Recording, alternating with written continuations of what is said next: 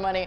All right, the sunrise this morning was so breathtaking. I had to share one of the photos with you. This one coming in from our 10 News weather watcher, Jim Grant. If you want to see more pictures, I tweeted a bunch out. I retweeted a bunch of you as well at 10 News Parry, and a, uh, there's a ton of them on our 10 News weather watchers Facebook page. Right now, it's still looking pretty beautiful. La Jolla right now looking gorgeous. It is warm though. Uh, I was outside walking around, and we're in the 80s right now. So yes, it is very toasty for a mid-November day. 72 in downtown, 75 degrees in Oceanside, and uh, I think a lot of the country probably hates us right now. I mean, temperatures are below freezing in Minneapolis. Add on the wind chill and it's feeling closer to about 20 degrees or so. Some areas feeling more like the teens. In fact, these areas started off in what felt like the single digits. And there's active weather in the northwest. This storm system is going to continue that cold weather. Add on some snow, add on some wind as it comes in, sweeping across the country. It's all staying north. It will eventually go into the northeast, like Philadelphia, New York, areas like that getting hit with it this weekend.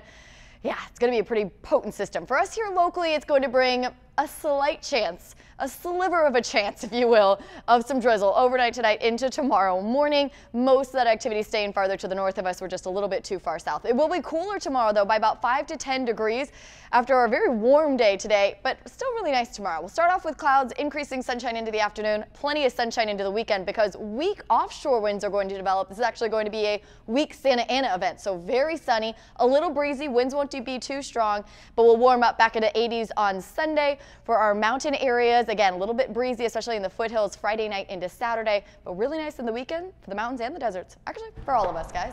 All right, Megan.